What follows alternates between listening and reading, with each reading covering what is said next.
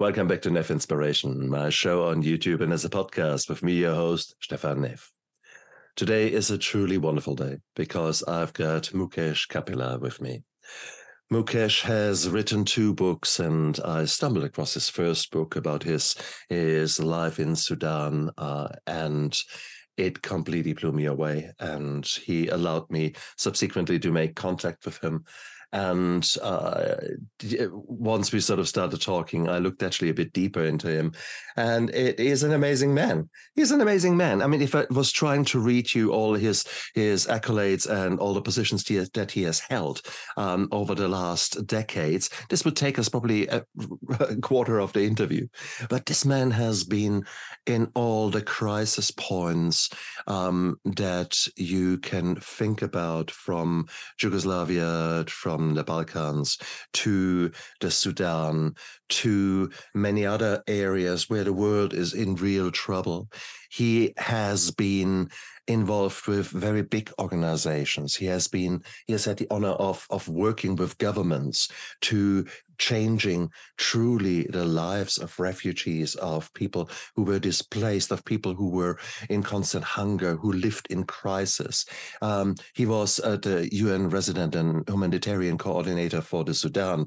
Um, and that is one story that we want to talk about because he was one of the big whistle, well, the whistleblower who highlighted the plight of the Sudanese people uh, and so on. This man has done so much and it's a true honor for me to have Mukesh on my show. Mukesh, welcome. I'm really, truly honored. Thank you. I'm very honored also to join you. Greetings from uh, Geneva. Indeed. very cold and wet Geneva. oh, well, yeah, we are heading towards your winter. We are finally getting into the summer here in New Zealand. Uh, so actually, yes, it's it's not cold. It's actually just turning into spring. So I'm, I'm sending you a lot of energy and a lot of sunshine from New Zealand. And technically, I am from the future. Do do do do do do do do because it is here a beautiful Saturday morning so rest assured, the world is still going on a Saturday. So that might be a reassurance, especially for someone like you who has been focusing on the darkness in the world and uh, doing so for a very long time.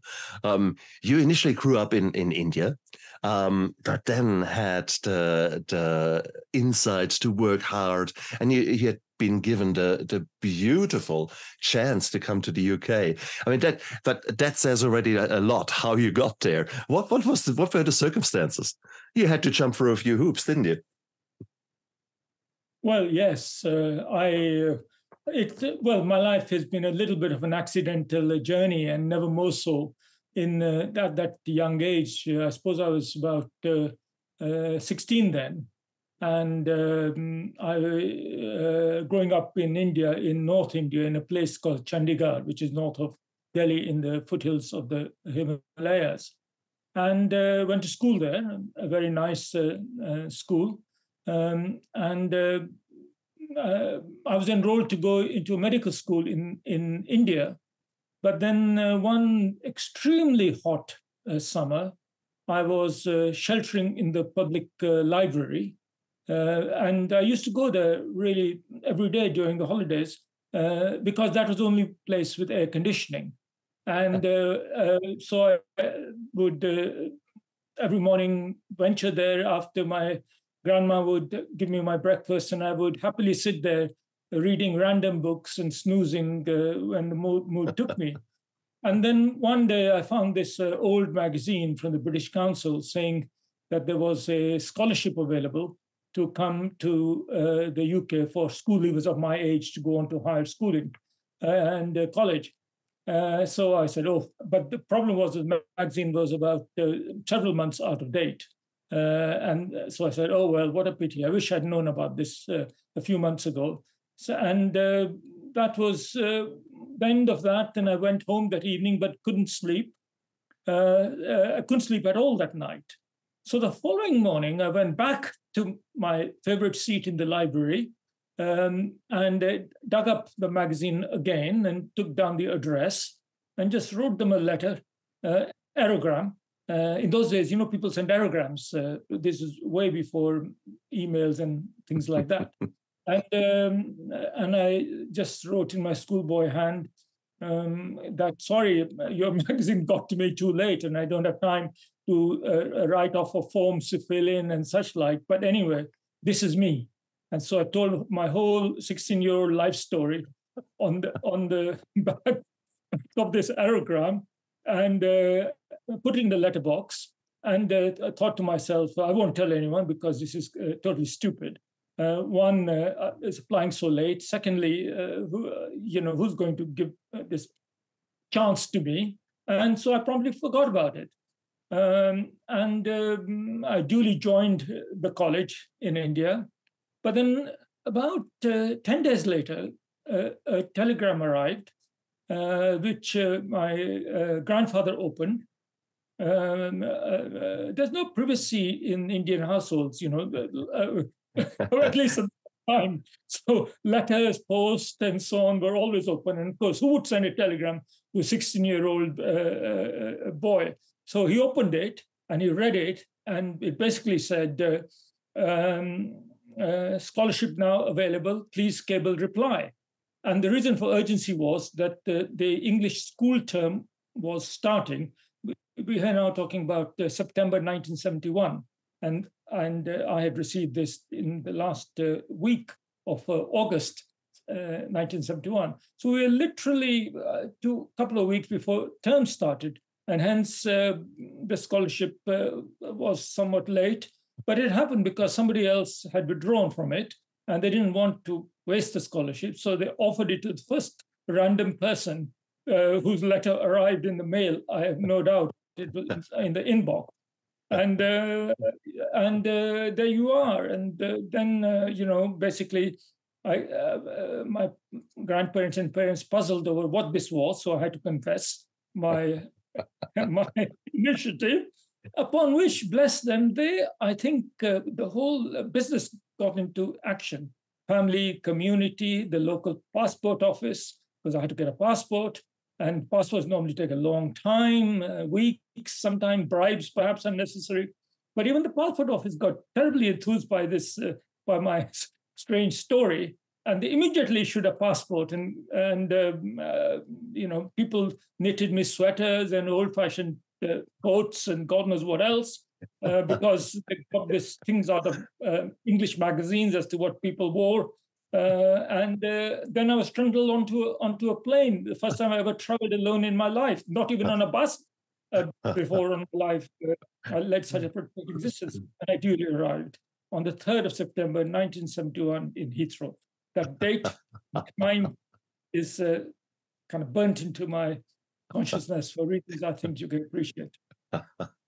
But here you are, you were a young man already taking action um, at a time when probably other other uh, juniors, other uh, young men of your age would have just, oh, no, they wouldn't even got the idea. Yet. There was already a, a spark, uh, something going on in you to actually take that opportunity. And that is that is just your story isn't it?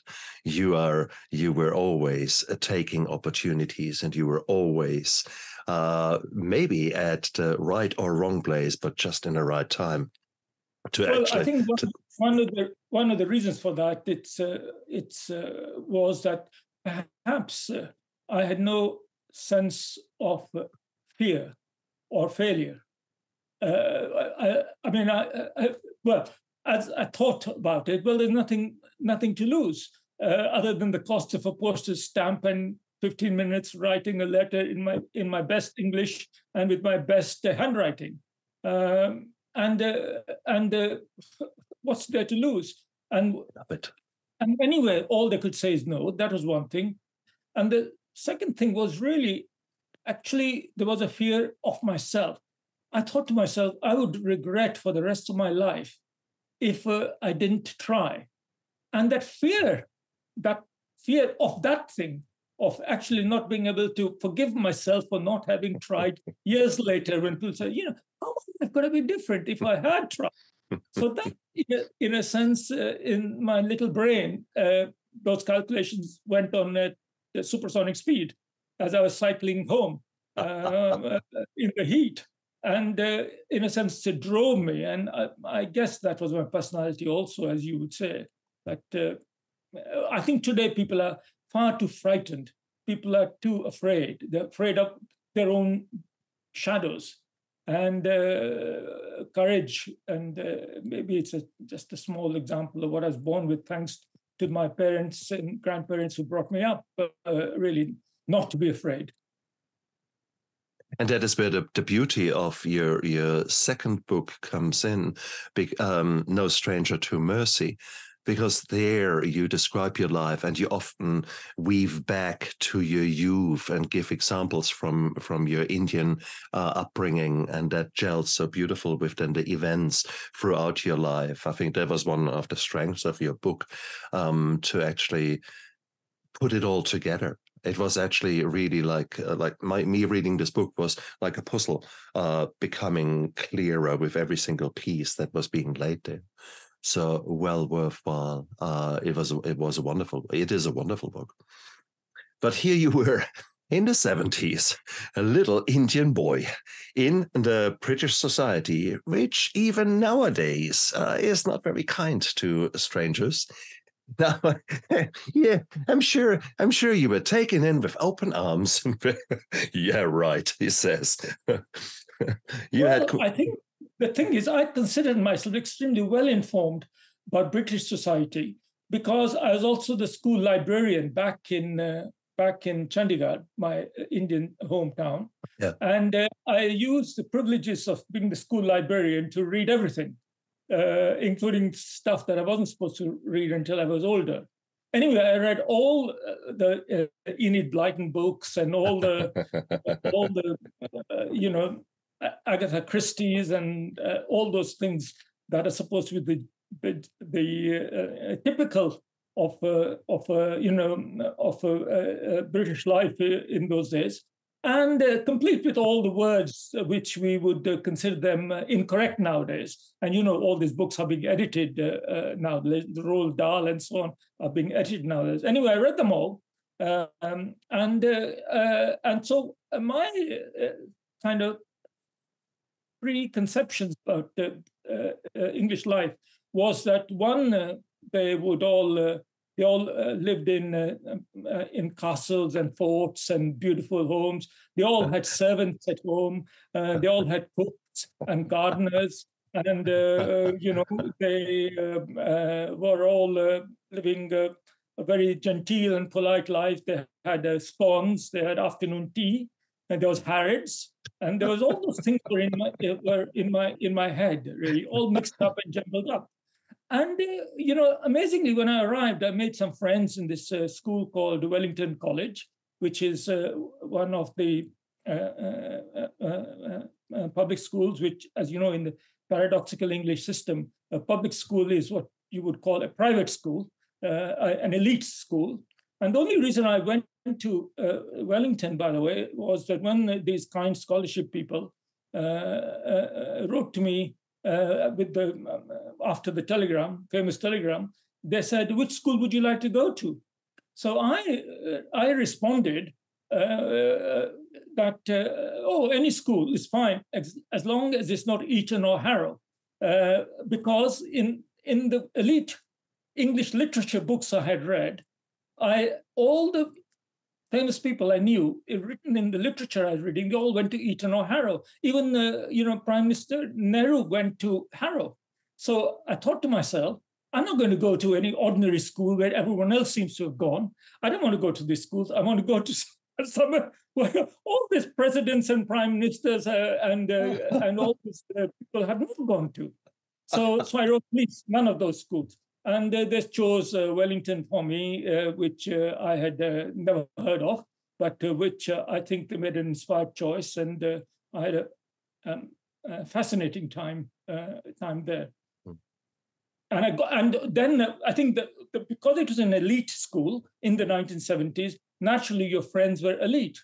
So, uh, mm-hmm. but for me, just normal people, because I thought everyone was like that in England. I had no idea that actually there were poor people. I had no idea that there were actually miners, shopkeepers, it was a pretty elite existence. Considering I, uh, I had a reasonably elite existence in India, it was easy to go to a relatively elite existence in, in, England. So I got invited to um, uh, to uh, homes in the holidays, Easter holidays, summer holidays, because I had no family in, in, India, sorry, in Britain. And so naturally, my uh, good friends, um, uh, which I acquired, uh, who I think uh, were more looking upon me as a form of a kind of curiosity, really, because I was the one, I was only one of two non-white boys in the in the school, the other being the son of the Ethiopian ambassador.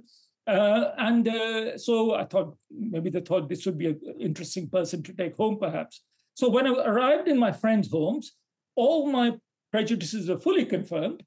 They had uh, they had um, they had uh, chefs, they had uh, gardeners. Uh, when you went to bed, they turned your bed and left a piece of chocolate on the on the pillow. so I thought, oh, this oh, is uh, this English way of life is c'est normal. So so that's how was my first introduction to English uh, society.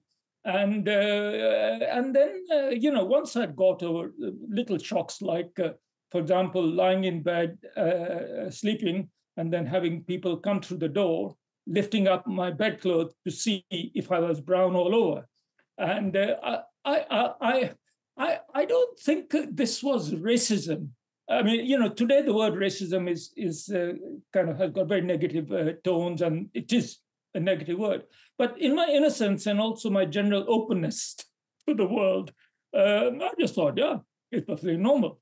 I mean, if some strange person came along, I'd like to examine them carefully to see what manner of creature they were, and uh, to be examined all over was uh, uh, seemed to me perfectly a natural thing to do. Uh, so those were my sort of wow. experience in those uh, early days. And the other, uh, by the way, I must mention this.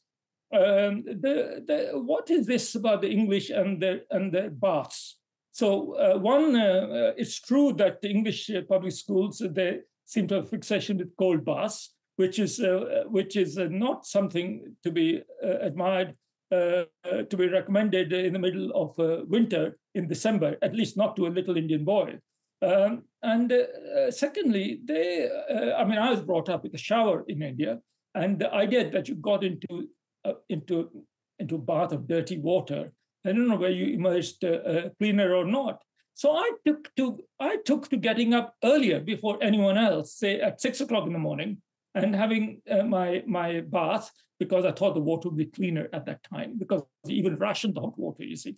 So uh, and this system worked fine from September when I arrived till about uh, late November when the, there was snow on the on the ground, and then uh, I said, "Hey, I can't get up at this time and go have a cold bath, uh, well, very lukewarm baths." Uh, at six o'clock in the morning. So then I abs- absorbed all the other aspects including the dirty bathwater of the English culture at that time. priceless, priceless, priceless. Huge culture, culture shocks, no doubt. Um, yet you were still in this kind of privileged society. That, however, um, did not last. I mean, ultimately, you, yes, whilst you might uh, still have the friends there, you soon became the victim of bullying uh, at school. Um, how did you deal with your first bully, with, the, with your first real bully? You describe it so beautiful in your book. Well, I I I, I understood uh, that uh, people became jealous of me because I was actually quite good at my uh, at my studies. Remember, I had uh, read every book in, in, the library at my school in India, okay. Um, and I was pretty good at my studies. And uh, uh, but I wasn't uh, good at uh, sport, uh, especially this rugby. I know you're a New Zealander now, and rugby is a, is a kind of your national blood sport. But but for me at that age, it was just completely terrifying. Cricket I could manage, but but rugby in a muddy field in December wasn't exactly my idea of fun anyway, uh, it was very clear that uh, English uh, field sports like that, uh, uh, and I didn't uh, mix, despite my admiration for English culture, Uh, uh, and uh, I, uh, I became, but I had to do some sport. And so I joined the fencing club. so I became a, quite an expert fencer at my at at foil, epee, and saber, and really almost a, a champion. However, these kinds of minority sports, admittedly elite sports like uh, like fencing, they did not uh, appeal to the bullies amongst them, and uh, they wanted to, they wanted to, uh, you know, the more football, the soccer, and so on.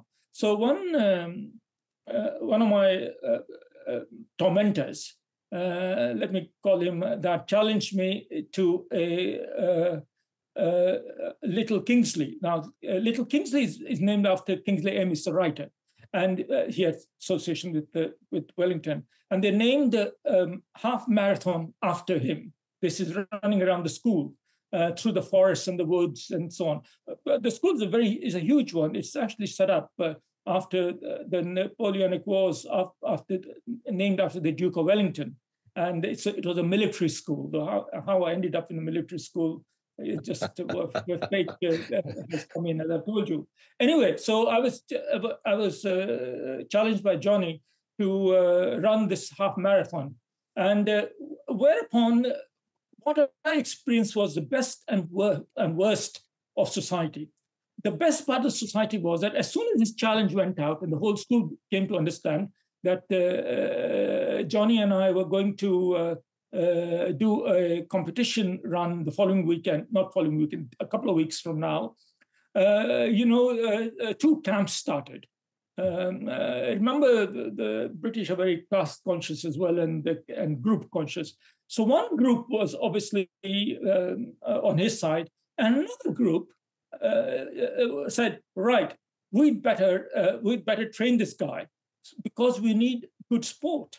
Uh, remember that uh, there's no point in having a race between a completely feeble Mukesh and this marathon runner. Uh, I mean, that's uh, no good to anyone. So that sporting instinct, which is also part of the culture, came into its own. And so I got uh, unasked for trainers who would abuse me every day, chasing me uh, almost with whips to try and get me up to, up to, up to speed. It was only later, by the way, that I discovered that uh, uh, uh, again the gambling instinct is very strong in in in in Britain, at least at that time. That this they had opened a book on this on me on this race. So some people had bet against, and some people had bet for. And uh, my uh, my, uh, my so my other bully who was actually training me to to run, he actually started a a, a, a, book on me to say that I would win and, and money was being bet that I would I would win. And of course, this guy was uh, known not to lose anything. He was quite a, a, a, bully himself. So I had no choice. But for two weeks, I had to go up and down, up and down the countryside. Uh, uh, now, come the following day, the great weekend dawns and, and dawned, and uh, the whole school assembled uh, at the rugby field from where we took off and uh, where we were to go to the forests and so on, and then down uh, and back uh, uh to uh, to the field. Um, and uh, soon I was left far behind, of course. But these guys, my trainers, were following me and giving and urging me on with all sorts of insults and abuses, which I think politely I will not repeat here. and and slowly but surely, slowly but surely, I I uh, overtook Johnny and then beat him by uh, rugby uh, field's uh, uh, length. And that's how that particular race ended. And, and that completely transformed my fortunes in that particular, particular uh, school. By the way, Johnny and I became very good friends afterwards. amazing. Absolutely amazing. And it just well, again. I mean, well, not quite the final story, because uh, later on, Johnny and I were to compete for the same job in Cambridge when uh, when I was a doctor, and he became a doctor too. And by chance, uh, uh about 15 years later, we were to meet in the interview room of a uh, of a of, of extremely elite hospital in Cambridge, where I was doing my higher training, and so was he. So uh, we were to compete, and uh, I had the satisfaction of uh, getting the job uh, uh, there as well. So I was able to beat him there as well. But but uh, this was this was not about uh, uh, poor Johnny or anybody. It's really about the fact that you have to stand up to bullies, whoever they are. You must stand up to bullies because if you don't do that, you'll be running for the rest of your life. And I think therefore I found that that snippet of your of your story so interesting because later on you had to face very, very different bullies, far more dangerous bullies, far more disastrous bullies. And I want to take you straight there. Uh, we could go so many avenues, but I want to take you straight fast forward, you have become now a public health doctor, um, and that in its own right was is amazing. And we'll, we'll do a second interview just on on some of these aspects. But um, I want to talk about the bullying, and I want to talk about the, your time in Sudan. Um, you had uh, for those people that that don't know much about world history. Um, Sudan is a country in in East Africa, but maybe maybe you take us there. I mean, when you arrived, you were what was your role in the Sudan at that time, and what were some of the events that initially transpired when you were there? Well, after a career in uh, in the British government in humanitarian work as a heading the uh, uh, uh government, uh, the government department on humanitarian assistance, uh, I got seconded to the United Nations and got appointed as the humanitarian and resident coordinator, the UN chief, if you like, of the senior most UN official in Sudan in in in in 19 where was it? in 2000 in, in and 2003 mm-hmm. Uh, 2002, 2003. Mm. They, uh, uh, at that time, Sudan was uh, Africa's uh, uh, biggest country. It hadn't split in two yet. And in Sudan was running the continent's longest running war, almost since its independence from Britain and Egypt in the 1950s. And uh, my predecessors had all either been fired or uh, ran away in, with a mental state seriously impaired uh, by all the difficulties and complexities. And I was appointed in all innocence to see if I could make something of it. So my job uh, was to, to uh, do two things. One, to help negotiate uh, some uh, peace between the uh, warring group in the north, which was mostly Arab dominated section of the country, and the southern, more African group and more Christian group in the south this civil war, North South civil war, was going on a lot. And so uh, the idea was to win the confidence of these people and through the act of helping uh, the suffering population uh, to bring about some rapprochement and using the good offices of uh, my function as the senior United Nations official uh, to win trust and uh, see if we can bridge these gaps and differences. So that was generally the easy, easy remit of this uh, of this job. Uh, but I mean, did you did you know that your predecessors um, had struggled and had had uh, a very harsh time? Did you know about the history prior to going to that uh, secondment, going to that uh, position? Uh, in part, I think uh, uh, uh, I remember going to New York, where the high levels of the UN were trying to convince me to do the job. And, uh, uh, and uh, you know, all the distinguished luminaries in the system met with me. And I was a little bit skeptical. Good. Uh, good. I was about to say, if something looks too good to be true. yeah. And you know, one thing I said was, "Hey, I'm I've never worked in the UN before, and two, I'm quite young still. Uh, and uh, three, this is the UN's biggest program in the world. And uh, if I get appointed, I will be the youngest UN chief in, in, a, in a UN program in a country level. And uh, uh, I understand my predecessor uh, only lasted six weeks. I'd really like to know more about what happened to him. And there was kind of mysterious um, garbled story, which I couldn't make head or tail of.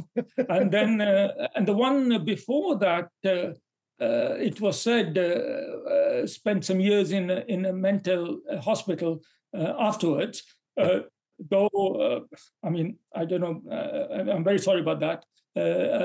he has recovered since then, I'm glad to say. But the point was that it wasn't good for your health, this position, either your mental or your physical, physical health, because of the political pressures. You know, eh, can you imagine if you were the if you were the UN uh, coordinator in uh, uh, Palestine at the moment, mm. right?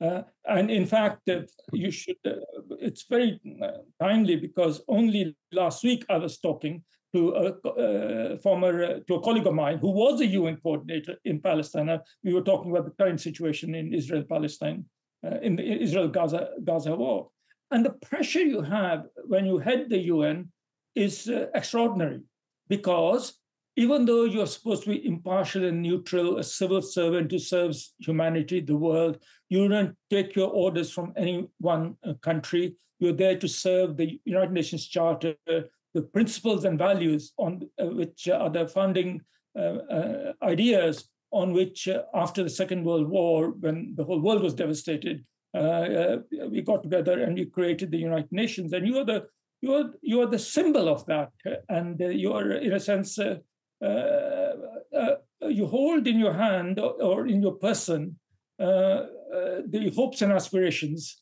of all of humanity, not in you, I hasten to add, but in the position you occupy. You are the representative of all that is best of the dreams, hopes, and aspirations of humanity. That's the idea, right? And in practice, they they try to, uh, you know. So in my first week, uh, we had a superpower uh, well-known superpower. Uh, I may not mention them here. So they come along and said, "Hey, we're very glad you're here. Um, you know, we have uh, got some very good uh, staff. Uh, if you'd like to strengthen your office, uh, we can recommend you these experts who have a distinguished background in." the state. Oh, sorry, I almost mentioned the country.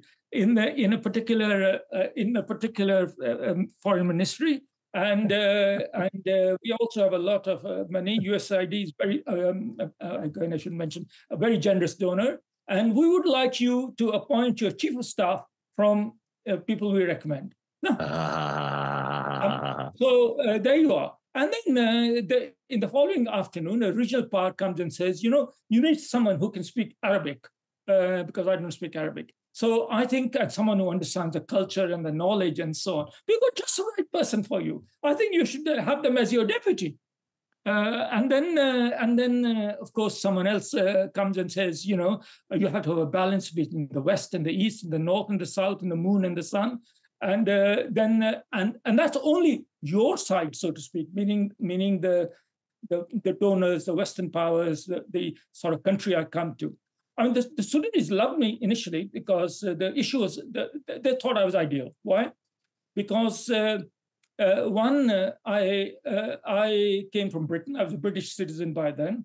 Therefore, uh, they thought I had the I had, if you like, the clout and influence of an important uh, member of the UN Security Council. Remember, we were talking here uh, 30 odd years ago, and when uh, the, the UK was indeed a powerful and influential country. We're not talking about today's UK, which is just pathetic, but I'm talking about those days. So uh, I hope you're not going to edit that part out. So no, definitely not. Uh, uh, so so they, they liked the idea that I was British but they also liked the idea that I wasn't white.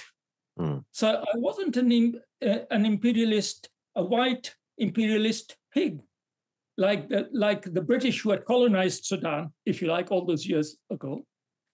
Uh, I wasn't black, like the people in southern Sudan that were fighting the Arabs in the north, and I wasn't Arab. In fact, I was Asian, I was mm. Indian. Now, mm-hmm. Indians are well regarded because they're a kind of up and coming power, even in those days. But generally speaking, they're a fairly harmless uh, uh, nation in, when it comes to third world solidarity and yeah. saying the right stuff. And everybody knows Gandhi and Nehru and all that. So they thought, ah, an Indian who is British, so has the backing of, of a powerful country, and therefore the money to go with it, to come and to be the UN chief, uh, and uh, who is not in, who's not black or Arab. So it was an ideal uh, photo profile for the, for the for the for the job. Uh, and uh, they and they also thought that they could because I came from a developing country, uh, India originally. They maybe people from developing countries are more malleable, more bullyable, if you wish, to uh, having your muscle twisted by the reigning government of the dictator, uh, military dictator Omar Bashir, uh, who was ruling at that time. And when I met the president, he was certainly extraordinarily affable uh, uh, with me. So, uh, uh, but then as events started within the first few weeks, cold reality struck me. Apart from the problems within my own team, uh, and I realized that there was not many I could uh, trust, and how many of them were implanted agents of governments, and and how many were genuine UN staff. I uh, I wasn't naive enough to I was not that naive to not uh, uh, try to think about this one. And then um, the news started that there was fighting going on in a place called Darfur, which was extremely far away, and um, uh, I didn't even know where it was. So I went to the map in my in my office to actually locate it, and then I, I realized it was really far away. It was about uh, a good uh, um, a, a good four five hours, uh, good four hours flying in my plane. Um, uh, I had my own plane as the UN chief, and uh, then I found out a bit more, and more reports started coming in, and so I decided to go and have a look. And when I flew over it, I began to recognize a pattern. And this reminded me of a, a previous experience that I had in, uh, in 94 uh, as a British government official when I was the first British government official to go to Rwanda. And uh, this was in the, right in the middle of the genocide uh, during the 100 days of killings. And I was there, uh, um, uh, I suppose, because I couldn't find anyone else to be rash enough to go there. But I arrived there within, within the, the blood was still running down uh, the walls of the church where people had taken a refuge. And the bodies were stuffed down the, the, the pipes in, in, in, the system. And uh, I, I, began, I uh, th- that impressed me so much. So when people ask me where my career in human rights business started, I always go back to the Rwanda experience where I witnessed uh, so much. Anyway, 10 years later, as the head of the UN in the Sudan, I began to recognize that the killings in, in Darfur resembled a pattern, a pattern that I had seen in Rwanda. In other words, one group of people, in this case, uh, uh, Arab uh, tribes, were massacring another group of people who were Black African groups. Now, to me, looking, they look the same. They're all intermingled and so on. So, but I knew that identity is socially constructed. It's not something. It's not what you look like. It is who you th- who you say you are. And when I flew over Darfur, which by the way is uh, the size of France, so it's a vast country, uh, vast region. And uh, I could see that uh, not everything was ablaze. And there were some villages that were being targeted, and then a few seconds flying time, there weren't. So when I came back and I plotted the GPS coordinates of the burning villages and the secure villages, you could see that this was ethnic targeting, ethnic cleansing. Absolutely. So then I had to speak up about it, and that's when all my troubles started. And we have to say that that from the word go, you didn't have an easy uh, easy time in Khartoum. So Khartoum is the the, the capital um, of the of the Sudan, or what? Yeah, was then, and um, the issue was that your predecessors were actually fired. So the UN has to be invited for by the, the ruling um, government. And there was initially there was a bit of a doubt that you even get accepted by them, but because of all these perceived advantages, they actually accepted you. But then you you got the first few uh, inclinations that actually that there's something nasty happening. And well, Clinton Clinton had said uh, in relation to Rwanda, uh, uh, you know, he apologized and he said that it shouldn't happen again. You know, not on our watch, mm. never again, right? And and in in Rwanda, I was a junior government official. But in the case of Sudan, I was the UN, the head of the UN. It was my watch, it was my patch. So I think that responsibility was what was weighing me down. And and uh, you know, I said earlier that uh, it's not me that is important, but the position I occupy, representing the best of humanity, is a, it's a sacred trust. And if you are a high UN official occupying a, a high pedestal like that, it, you it's not so that you can be arrogant. It is that you are the holder of that trust, the yeah. position of uh, faith that the rest of the world has in that uh, position. And yeah. that was, I think, seminal to my analysis of what and, I should do. And I think that's important because you you had a conviction that you needed to speak out. Yet um, the the government was actually ultimately responsible. Um, the the Arabic tribes that you were mentioned, the Janjaweed, were essentially a bunch of very nasty people, um, Islamic terrorists, if you wanted to call it like that, um, some very, very nasty people that were very much in bed with the government in Khartoum. Um, so the government was working against you. You had in within you had frictions and, and trouble within your own team. Plus, then when you actually were sending back messages to the UN, the UN was not really sort of saying, "Yes, finally, finally, Mukesh here speaking out." That was not really the response from your from the bosses from from the UN, was it? Uh, no, that was my that was a uh, that's when my idealism uh, met reality, uh, uh, and uh, landed very hard on the ground.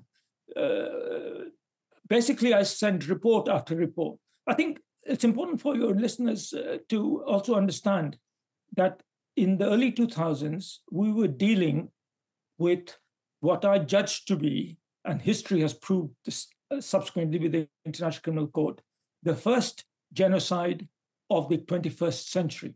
Remember that I had already witnessed the last genocide of the 20th century in. Rwanda. And, uh, and uh, the Rwanda genocide was at a time when we didn't have emails. I remember talking to General Dallaire, the Canadian commander in charge of the peacekeeping forces, and you know I met uh, subsequently and compared uh, notes.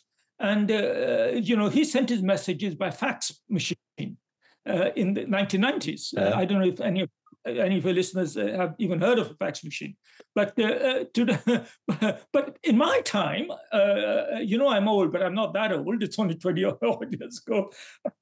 we had email. Not only that, I had the first early generation of BlackBerry in my pocket.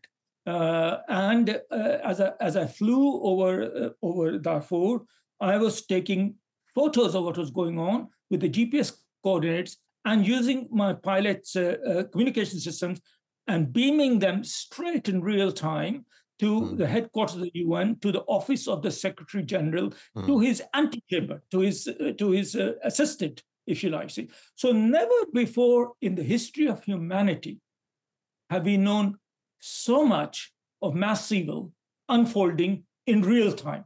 In the case of the Holocaust, uh, uh, in the Second World War, we, we, knew, we suspected what was going on after a time, but it was only when the camps were liberated that we learned the worst details. And the same was true in Rwanda and the other places that uh, are familiar in history. But here I was, uh, really at a moment in time with all the technologies at our disposal, uh, my own plane, my own communication systems, uh, and uh, I was. It was literally, as I said to, to some media at the time, it, it was as if I was in the middle of a horror movie uh, uh, be I was as if I was an actor in a horror movie, mm. myself having a role in in that in that movie, even as I was filming the movie of which I was a part it was a horror movie, or as I've also said, a snuff movie. I mean, to be vulgar about to be vulgar about it, because the people were being snuffed out. The people were being snuffed out, if you if you like. See, so this is uh, so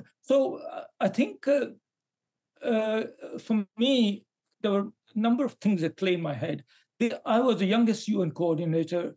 I had a huge career ahead of me. If I did a reasonable job there, there was no reason why I could not go from from uh, high position to high position and lead and lead a elite gilded career, uh, you know, and uh, who knows what. Uh, and and to speak up, well, I was to sacrifice everything. At the same time, I also had a young family. My children were at school back in the UK, and I, I was no doubt what the consequences would be if I spoke up. Uh, so, uh, especially when I knew that my bosses in the UN uh, uh, didn't want to know me, not only that, uh, as soon as my messages started arriving, they were almost like disowning me as if I had leprosy or something. Mm. and I would get no response. It, my messages fell into a big black hole in, in New York. there was no response at all.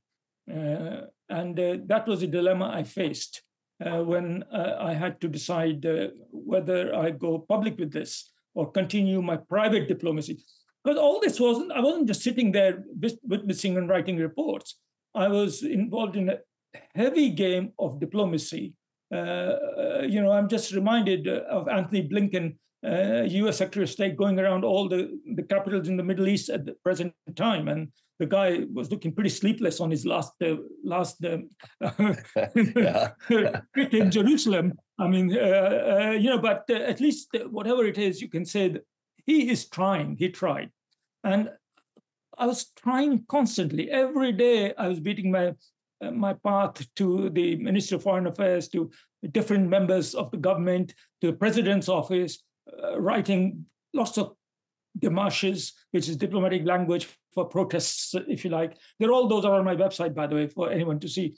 And uh, and I was uh, uh, kind of completely uh, ignored and even threatened. They, uh, so, so, I remember the in the in the foreign ministry of Sudan, a very senior official saying to me, "You know, Dr. Kapila," he said to me, "Your predecessor only lasted six weeks. Hmm. do you really want to go down that route?" Wow. And these direct threats were there. You describe a meeting uh, in which you uh, spoke out. You had a lot of the, the Sudanese officials there and who were listening to you when a young woman um, started speaking up in the in the background. Yeah, in one of my visits to the Darfur region uh, and uh, traveling around, which of course was under strict supervision of the uh, um, Mukhabarat, the Sudanese intelligence uh, services who escorted you uh, everywhere, ostensibly for my security. Um, uh, there was yeah. a public meeting. Uh, there was a public meeting, and uh, to, to find out what was happening and what help we, we the UN could give, food, water, because the, fighting was going on. That wasn't hidden. You can't hide fighting. And my concern was also humanitarian relief. So people were saying uh, what their issues were and uh, healthcare they needed, hospitals and so on. And then, um, uh, but all the people who were speaking were old men sitting in the front row, and uh, as if they were the official spokesmen appointed by the authorities to be the interlocutors. And then this uh, very young woman uh, hesitantly got up at the back and stood up and raised her hand and started speaking, at which all the uh, front men uh, hushed her. And I said, uh, no, no, no, no, uh, please let her speak.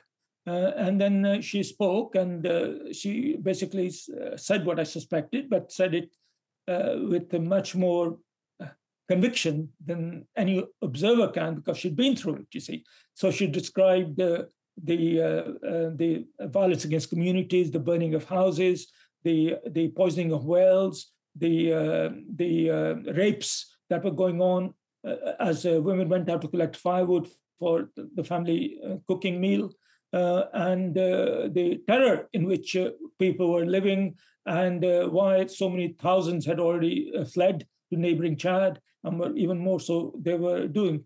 And people started to hush her, but I said, no, no, let her speak, and and then. Um, I think that uh, uh, was my first direct eyewitness account. I mean, I had my own eyes to witness, but this was a, a local person uh, saying it with huge courage. And uh, so so that uh, gave me a lot of food for thought. I said I really have to got to do something about this uh, about with this information, and uh, so I uh, uh, started positioning more staff in Darfur. Mm. But then there were threats starting against the UN, and uh, you know I, I, was told I had to withdraw the UN staff from Darfur because the government could not. Um, sorry, because uh, there were threats against the security because of the fighting that, that that was going on. It's like imagine being in, in Gaza. Remember how many people have how many UN workers have already died in Gaza because of the bombings and fightings. In our case, there was also bombings and fightings going on, bombing by the Sudanese army and fighting between all the different groups, including Sudanese army and the paramilitaries. So uh, and uh, so that was a dilemma I was in. So I got back to my office uh, and I was mulling over all this uh, uh, when uh, another young woman arrived at my office, and she'd I don't know how she spent a thousand kilometers um, across the burning sands from Darfur to come to my office, and and you know she was making big noise outside my office. And finally, my assistant uh, came that mad woman wants to come and see me. So I said, "Oh, send her in." Uh, I'm surrounded by people. One more won't make a difference. So, uh, and she came in and she told told me a story that uh, fundamentally changed not just what I had to do right there and then, but what I had to do for the rest of my life.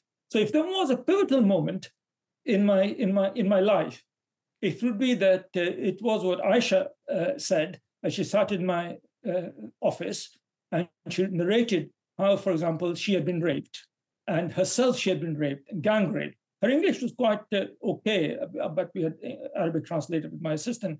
And, uh, and she described uh, how, uh, how it happened to her in Tawila, which is a small town in, in, in Darfur, and, and how she had been raped in the marketplace by lots of people in front of her husband, in front of her children, etc., etc., etc. And then, and then I could not but admire her courage that despite all of that, she got up and somehow managed to find her way from Darfur uh, through, uh, I don't know, walking and trucks and God knows what else, uh, to come to the total stranger in a strange office um, uh, to tell her intimate story to a total uh, stranger. And I'll tell you, at that time, uh, it was very difficult to get to see me because I was under heavy guard. The reason I was under heavy guard was because my counterpart, Sergio Vieira Mello, uh, who was uh, my uh, UN coordinator and head of the UN in Iraq at that time, had just been assassinated by a Al Qaeda bomb in Baghdad. And when that happened, and of course, uh, you know, the, the, Sudan was known to house these many of these uh, people. Uh, then basically, I was basically in a prison, surrounded by my own security, and then my the government security, and then it was impossible to get in to see me. But this persistent young lady uh, uh, did and asked her why. And she said, she simply said one phrase which is burnt in my head to this day. She said, Oh, because you are the UN. And then she said, after a little pause, she said, and uh, you look like a good man. Uh, uh, you will do something uh, I don't know what you will do, but you will do something. Oh. And uh, I, and uh, I mean, I'd never seen her before in my life. Okay, and uh, I, I, I don't know whether I was good or bad, but now I was going to be good because she said I was good, yeah. and she said I was UN, and the UN is good, and I'm good, and we are good, and good people do not betray their sacred cause. Wow! So that was the moment that I wow. realized where my sense of duty lie. My sense of duty was not in worrying about my pension or my my my my fees or my school children, which the which uh, of my children uh, that the UN was uh, uh generously uh, uh, paying, or my massive salary. And believe me, I've never earned so much in my life as I did when working in the UN. Um, and I instantly realized some kind of buttons was pressed and, uh, and then I castigated myself. I said, how could I have even thought of not speaking up? I mean, why did I even go through the mental torture of at least uh, a few days, wondering what, where my duty lay, when my duty was as obvious as the words of this young woman who had uh, uh, amazingly found her way across for that. There was sorry, I uh, find it uh, difficult sometimes to uh, to relive that uh, that part of it because it, it was like a like a like a, an electric shock as well as a cold douche. you know, if I can call it this all at the same time, because that's the effect of this uh, of Aisha was on uh, on me. And uh, so then there and then I decided I would not only tell what was going on, but I would say it in such a way that uh, there would be no silencing and the genie would never go back in, in, in, no back in the bottle. Oh. That was that was my determined uh, uh, impact of that young woman's personal testimony. Wow. Wow. And that's how you became a whistleblower in the in the truest meaning of the word. Um, well, to be honest, I never, uh, I never even uh, thought of the word whistleblower at that time. What I thought was uh, to how I could outwit them. I had, remember, I had to outwit two people. I had to outwit the Sudanese government, hmm. the genocides, in my opinion, uh, uh uh, on whom I depended. I was in the country, I was in their uh, under the, their uh, jurisdiction, so to speak, and I had to outwit my own bosses, the Secretary General of the United Nations at that time, uh, Kofi Annan, uh, my bosses in the uh, Department of Political Affairs, Humanitarian Department, and many others. I had to outwit them both because they were both stopping me mm. from speaking up uh, you know, uh, uh, we were on completely opposite sides. So then I, that's when I decided that if I was going to do it, I was going to do it in style. So that's when I used the time difference between uh, between uh, between Nairobi. I had an office in Nairobi, and there was no media in Khartoum. So the only way to speak was to go to Nairobi, the regional media hub of that part of Africa. And the time difference between Nairobi and New York was six, seven, eight, nine, nine hours, eight, nine hours, different uh, time. And uh, then I thought I would do it uh, kind of uh, mid morning when uh, New York would be fast asleep. Uh, and the, the UN spokesperson, the minder, and my own bosses would be happily tucked in bed. and, and I would hit the waves. And so it happened. It was, it was breaking news on that day on the BBC on the Voice of America and uh, on uh, all sorts of strange journals and things. I gave out my phone number to everyone. I said, any media anywhere in the world, uh, give them my number. They can get me, and I'll give them interview. I will give them interviews. So and and it was got you know even small magazine, small the Peshawar Bugle in northwest Pakistan. Who's ever heard of them? Um, and uh, God knows obscure, obscure um, local newspapers. I said, no, it, they're all equally important. So of course I go spoke to BBC, Voice of America, CNN, all those people. It goes without saying I would speak to them. And then it became so much. So then uh, I said, okay, I better do a press conference now. Now, after I've given exclusives to everyone, think that exclusives, you say exclusive to everybody, and then everybody's happy. Uh, the media, that is, you see, oh. they love exclusive. Uh, so I gave many exclusives, and, and then I said, we better do a joint conference. You know, 200 people turned up. These are, this is all the world's uh, TV, radio, newspapers that bureau chiefs located in Nairobi. There was no space in my little office, and I had to go into the garden, and they had to uh, they had to put up uh, I don't know lighting to uh, for the cameras. And uh, uh, New York, by the time New York woke up, they did not know what had happened. And by the time uh, 10 o'clock came around in New York, no, 10 o'clock, 11 o'clock, this is when the UN spokesman gives his daily uh, conference uh, to the world's press. Every day it happens, it happened since time immemorial. there was only one question uh, by the world's media, by Reuters, AFP, everybody was asking, on New York Times, and everyone was there saying, well, what do you think of the remarks of your representative in, in, in Khartoum? So I calculated that uh, they had uh, they could either uh, say that I had gone mad, Uh, after all, my predecessors uh, uh, had problems also, and I had gone I had gone mad. Or they could deny what I was saying and refute me. But whatever happened, if they did that, it would become the news.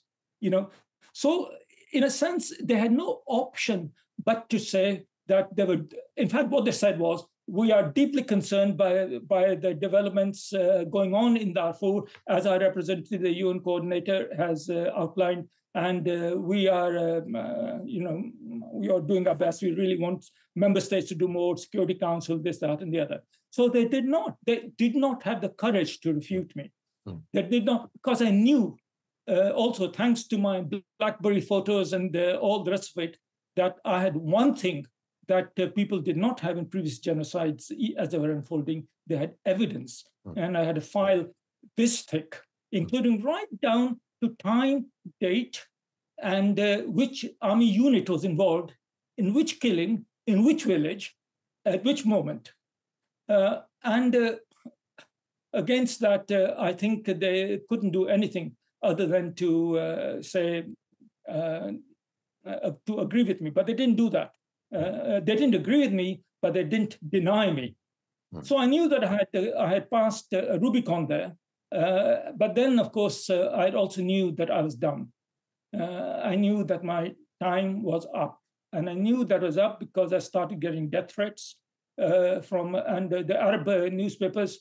My staff would not show me the headlines because, uh, well, they had to translate the headlines and they, they wouldn't do it for me. And the media reporting wouldn't uh, share the media reporting. This did not frighten me. But these are, these are literally jihad and uh, someone should take him out and I've insulted uh, their culture, I've insulted mm. this, that, and, and the other. All those death threats, really vicious uh, death threats, which I knew were were uh, were were, uh, were um, the, uh, the UN security back in New York was very worried about that because whatever the dislike of me at this stage, the last thing they wanted to do was me turn into a martyr. Uh, you know, uh, and and that wouldn't have played down very nicely in terms of the reputation of the UN either. Mm. enough, the government uh, threatened me, but it wasn't in the government's interest either to to get me killed because this wouldn't put the government in a good light either. So there I was, literally a hostage if you if if if you like, it's like these poor hostages in uh, sitting in Gaza. It's not in the interest of the of the of Hamas to kill them, though they may well do. They're nasty people, this Hamas. Uh, but on the other hand, uh, I think you can't uh, negotiate for their release uh, either. You know, you know what all the things is going on. Mm. So it's a very peculiar situation to be in. But I knew my time was up because of something much more important. I knew that the government of Sudan uh, would uh, uh, declare me persona non grata, meaning they would uh, uh, they would uh, oblige me to leave the country, just say to give me an expulsion order and de-recognize my diplomatic status. And if I didn't do that, which the French government tried to do when the French government refused the Niger militia who ordered the French ambassador to leave Niger a few months ago. Um, but in the end, if the Sudan government would not cooperate with the UN mission, I remaining there was blocking any action hmm. because mm. my being there as a hostage meant that the outside world couldn't act because I was the UN coordinator, I was there. And I, but I was, I was completely disempowered by the UN on one hand. And mm. on the other hand, the Sudan government would not cooperate with my uh, health uh, health program, my education program, my relief program, my food program, and the million things we were doing every day beyond the headlines, saving lives and bringing relief mm-hmm. uh, to all, all, over the world. And the last thing I wanted to do was uh, uh, be an obstruction in the way of uh, that. So I decided to to leave 24 hours before they would declare me persona non non grata and uh, so not to give them the satisfaction to say that uh, they had uh, asked me to leave. So I was uh-huh. never declared persona non grata. Symbolically, that's extremely uh, important. Many people think I was declared persona non grata. No, I never gave them that satisfaction. I left because, uh, and I, I came voluntarily and I left voluntarily when my job was done, which was to tell the world about the first genocide of the 21st uh, century. And then, of course, death threats followed me, uh, and uh, this was a this was a problem in um, uh, you know that was to follow me to my subsequent place in in uh, in uh, Geneva and uh, for many years afterwards. Wow. I don't wow. know if I've given you too, too much detail as well. But oh, it's beautiful. Nine, nine, nine, nine, nine. You were spot on there, um, because that is that is your life. This was one of those pivotal moments where you were given a personal choice. Do I do the right thing? and live with the consequences or do i do do i just shut up protect my own career um, protect maybe my own life protect the life of my family which inevitably might become uh, collateral damage in any jihad or in any kind of whatever it is uh, fatwa that is that is that is announced against you so here you are basically it is you you made a call and you spoke out at a time when many others stayed silent. And I think that is so beautiful, but it is one of the hardest things you can do to become a whistleblower and to know that you're risking absolutely everything. If you were, I mean, I know already the answer. I was about to ask you actually, if if you had to do it again nowadays, I know the answer. You would. You you spoke with so much conviction. Would, uh, I, I, I will certainly do it again, uh, but I do have certain regrets. Uh, and I said earlier that I wish I'd done it earlier because many people asked me afterwards, well, if you've been going around seeing all this, uh, why did you not speak earlier? Maybe if you had spoken earlier, more lives could have been lost. Maybe the world could have acted uh, earlier. And it is an extremely fair, fair question the problem was you cannot accuse your government, a sovereign government to whom you are credited, mm. uh, uh, for uh, uh, for the biggest of all crimes, which is crimes against humanity, genocide. Right? Yeah. You can't do that without evidence because. Like this hospital bombing in in in Palestine that has happened in the last two three days, you know, if you don't have the evidence, then exactly. the denials and the refutation uh, completely undermines your case. The reason the UN were left speechless was because I had I dotted all my I's and crossed all the T's and collected mm. so much data and information that there was no way. And I had to do the same with the, uh, diplomatic community and the and the and the authorities.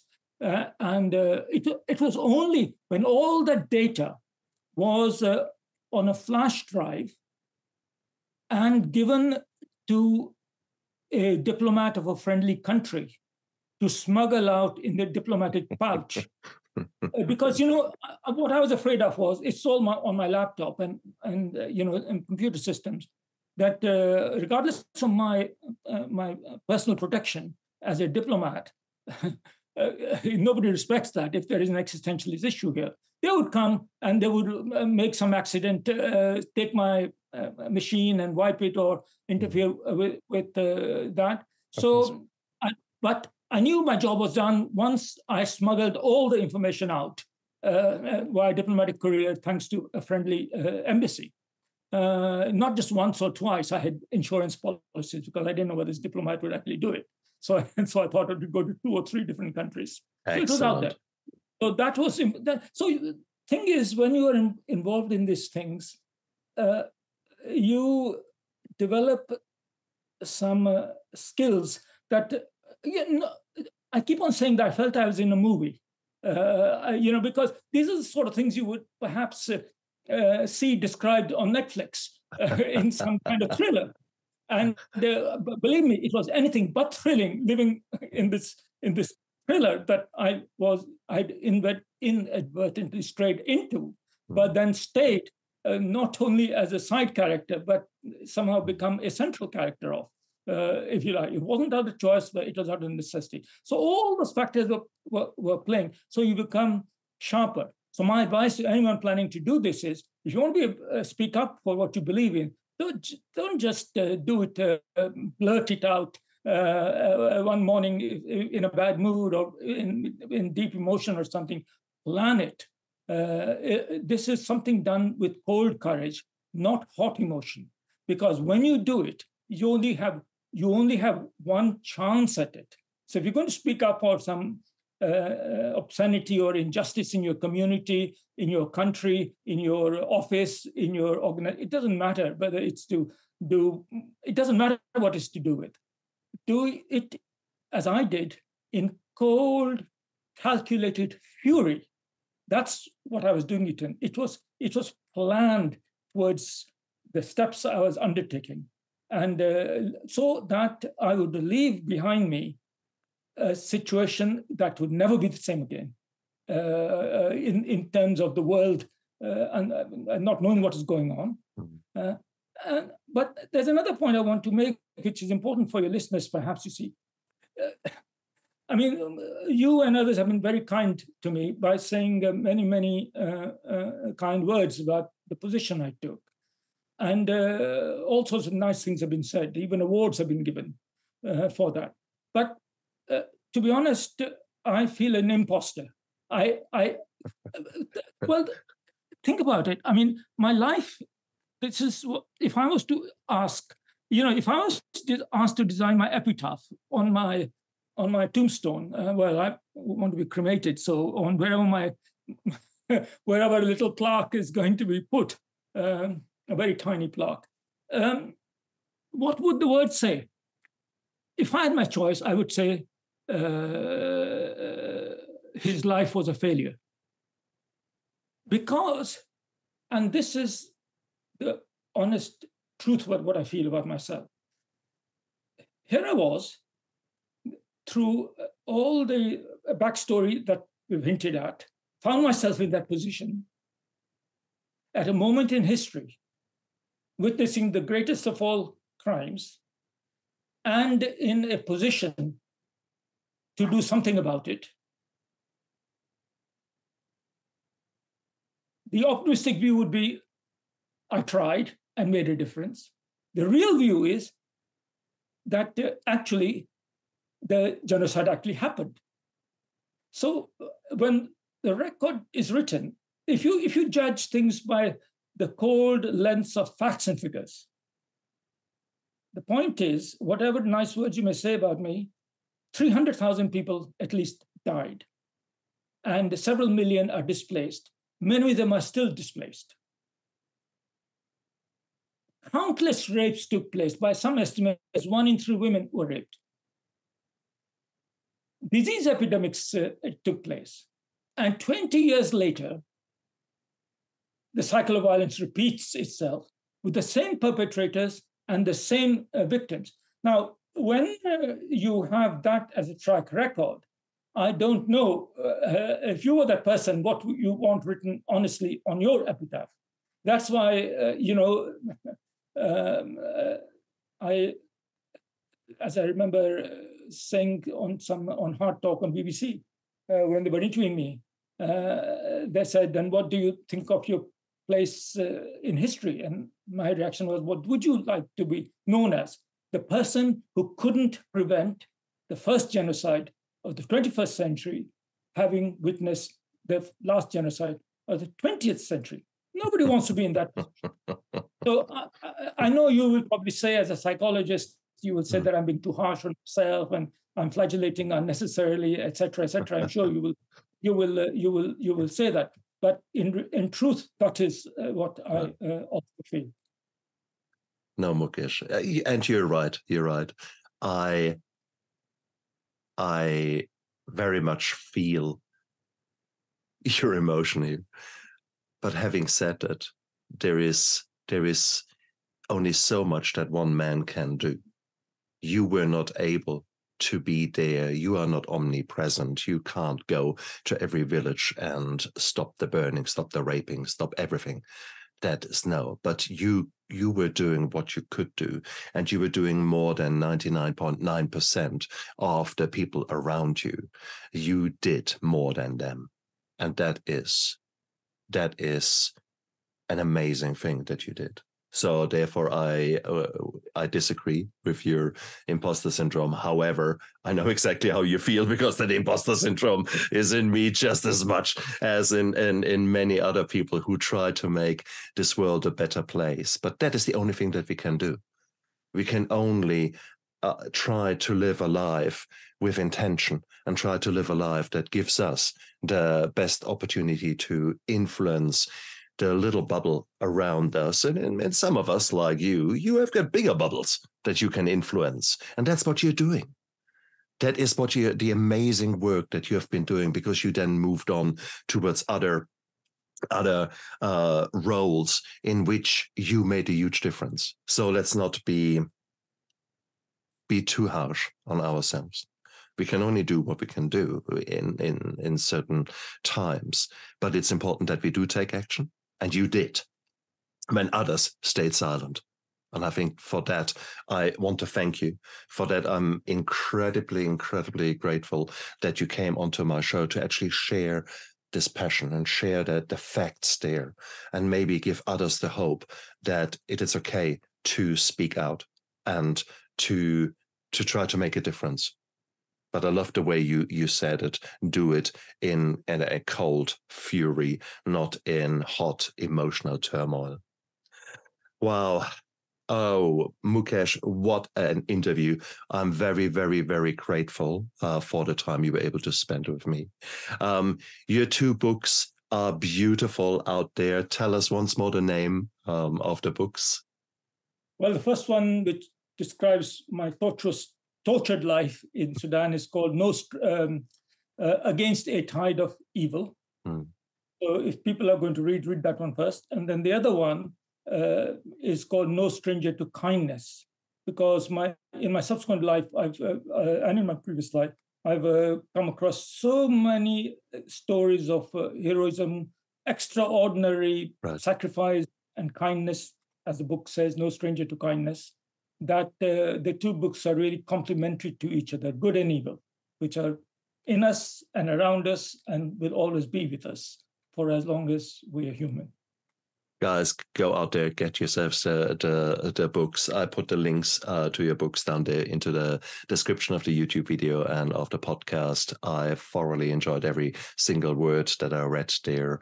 Mukesh you're an amazing man. I so hope that i can get you back here onto my show because there are so many other aspects of your life which would benefit everyone out there to hear about. But for now, I want to thank you again. Send you all my, my love, my energy from New Zealand to Switzerland uh, to Geneva.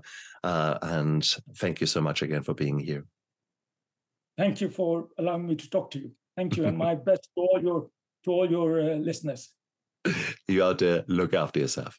Bye. Bye.